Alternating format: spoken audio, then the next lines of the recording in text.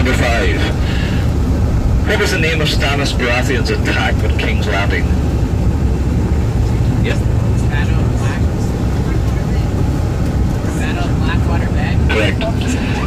The Battle of Blackwater Bay.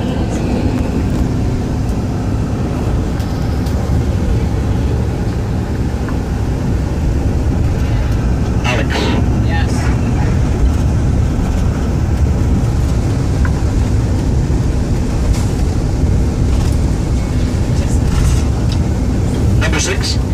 What was the name of the Stark ancestral sword melted down by Tywin Lannister in season 4? Harun. It's gone. Uh, yep. Sorry? Correct. It was called Ice.